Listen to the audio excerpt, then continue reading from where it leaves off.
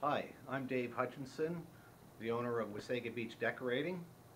Uh, We've just recently moved our location to the Stonebridge Town Plaza uh, beside the Century 21 and the Bulk Barn. Um, We're your local Benjamin Moore paint store as well as your live and lighting store. We're having a grand opening this Saturday and I'm hoping to see you all at the store. Uh, It's a beautiful store, you gotta come and see it. Thank you.